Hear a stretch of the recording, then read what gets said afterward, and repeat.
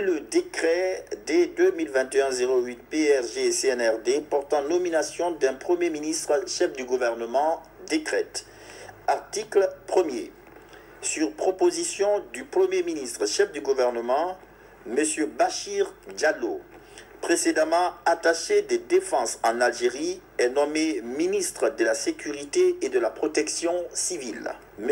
Aboubakar Sidiki Kamara, précédemment ambassadeur extraordinaire et plénipotentiaire de la République de Guinée en République de Cuba, est nommé ministre délégué à la présidence chargée de la défense nationale. Madame Louopou Lama, précédemment directrice nationale du commerce extérieur et de la compétitivité, est nommé ministre de l'Environnement et du Développement durable. Monsieur Abdulrahman Sike Kamara, précédemment conseiller principal du ministre secrétaire général du gouvernement, est nommé secrétaire général du gouvernement avec rang de ministre.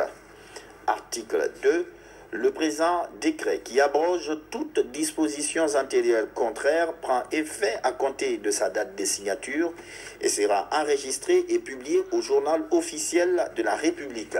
Conakry, le 21 octobre 2021 signé, colonel Mamadi Doumbouya.